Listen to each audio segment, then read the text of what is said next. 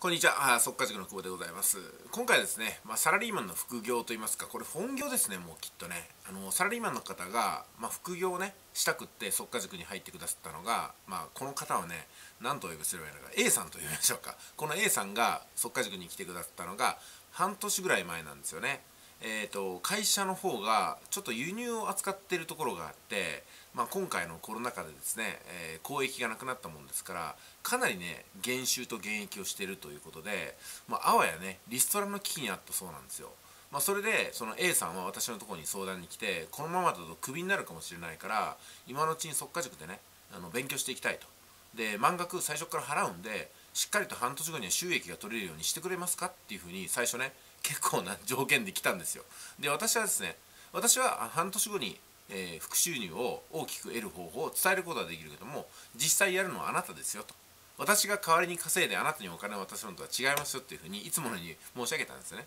そしたらやっぱりその方はねそれはよく分かっておりますと。久保さんの動画はもう1年以上前から見ていましたと。きっと私にもできることがあるんだけどそれが見つからないのですよ。っていう風な形でね、え、相談してくださったんだよね。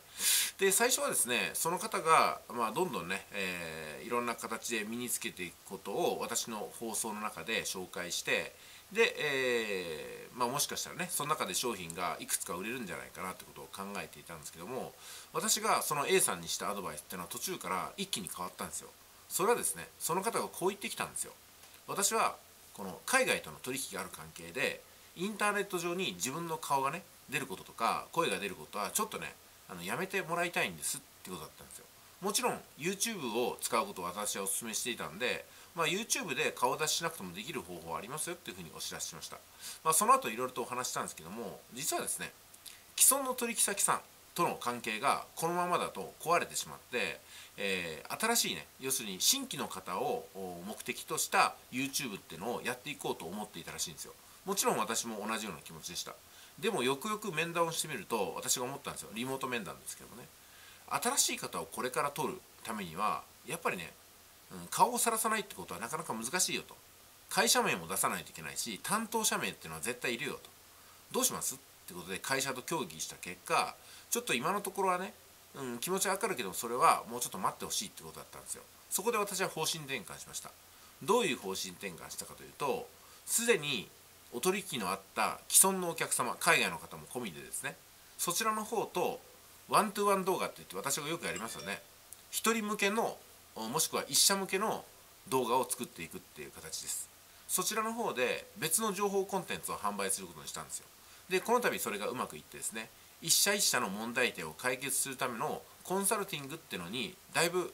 事業が移ってきたんですよ。おかげさまでその会社ってのはあ今までのねえー、輸入輸出物販からコンサルティングというねあのアドバイスとか知恵とか情報っていうのを販売する提供することに事業が関わってきたんですね、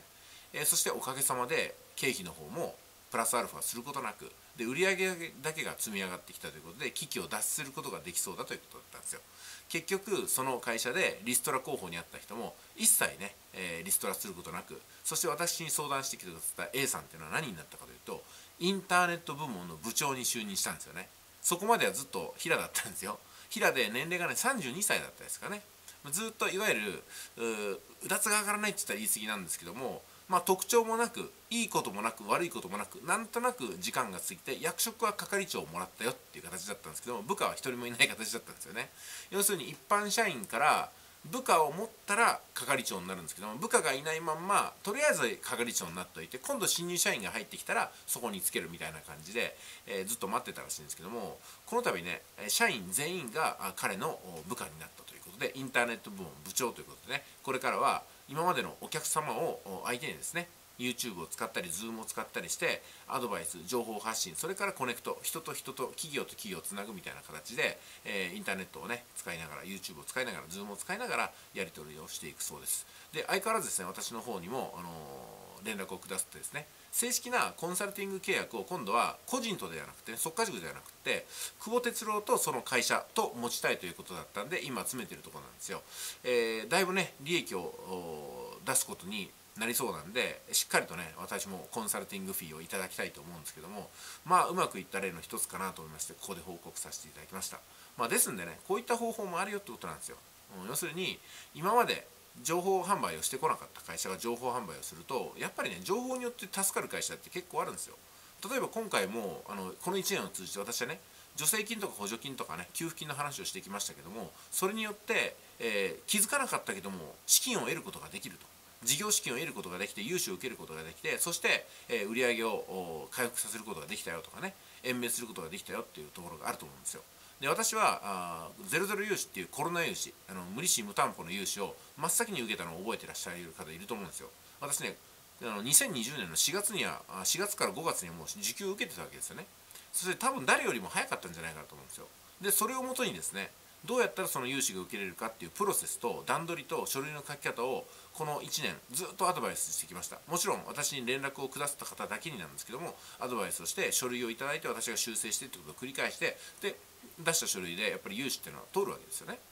まあ、最大で、まあ、4000万とか6000万とか今になってますけどもだいぶねその1000万単位で融資を受けれるってことに対して会社っていうのはかなりね余裕を持った経営ができるようになって、えー、おかげさまでそちらの方から私ね謝礼を後でいただいたって形になりますけども何にしてもね自分がやったことがこうやってあのビジネスになっていくそして私からアドバイスを受けて成功体験を作った人は今度はね自分でその成功体験が販売していけるってことになるんですよ。まあ、ですのでその速化塾に入ったっていうのは別にポイントサイド一生懸命やりましょうってことだけではないんですよね。今サラリーマンとして働いてる環境を別の角度で生かすことにしても十分売上を上げて利益を確保して従業員さんをね、えー、しっかりと養うことができると。しかも今回別に法人の代表じゃないですよ。平社員の方が私にアドバイスをしてくださって私がこの半年間で、えーと、アドバイスをいろいろとさせていただいたところ減収減益がね、えー、止まったと。そしてこれからは上向きになっていきそうで新しいクライアントさんからの発注も入ったということなんで一気にね平社員から部長職になったということでございます。すごいことだなと思いましたんで私もねちょっとね対談をお願いしてるんですけどももうちょっと対談待ってくださいということなんで、えー、いわゆるね会社っていうのは慎重ですよね、うん、ただこういうふうに売り上げを上げる方法ができるということを今回は紹介させてもらいました。あそれではねこれからも会社員で勤めてる方インターネットが抜群に相性がいいです。自分は会社員だからできないとそういうそういう先入観をまず捨ててください。あの私だったらどんな立場の人もうまくいかせることができます、うん、ただ私が代わりにやることではないです。実際に私はやる自信がありますけどもあなたに自信があるかその覚悟があるかどうかってことが結局はね全てを決めますんでね腹をくくって速化塾に関わってきてください。それでは本日は以上です。